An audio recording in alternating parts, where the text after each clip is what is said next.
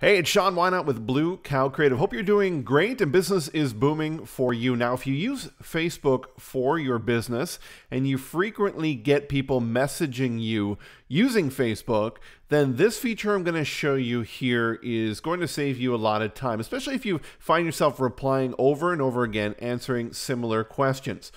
So I have a message that came in here, and I'm just going to click on it. Now, when it comes up here in this little light box, um, window, you're going to notice something new. Now, I'm not sure exactly when this has appeared. I've only recently started to notice this, but here's the message here. Hi, I'm interested in video production. Now, on the left-hand side, you've got saved replies.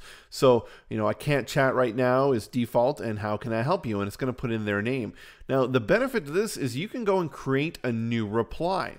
So it could be, um, let's chat about a quote could be the subject line. And we could go hi, and then we can click personalize down here, and it's going to ask us to merge in any of the information.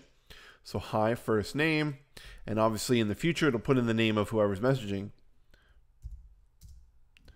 We can put in here and go, I'd love to speak with you more about your project. When would be a great time to talk so that we can create a custom quote.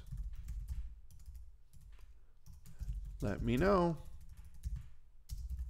Chat soon. Then I can put in my name. Perfect. And I'm going to save that reply. Now it's going to show up here. So the next time anybody sends a message, for example, even this one here, all I have to do is click once, boom, it puts everything in here, and I can go ahead and click reply. Simple as that. So you can build this list of saved replies and you can scroll through it. So think about those those top 10, those top 5, whatever it is, frequently asked questions that you get asked on Facebook and it's going to save you and your staff or your social media managers a lot of time replying to those inquiries. If you like this video and other videos that we put out there, please subscribe to our YouTube channel at youtube.com slash blue Cow Creative. I'm Sean. We'll talk to you soon.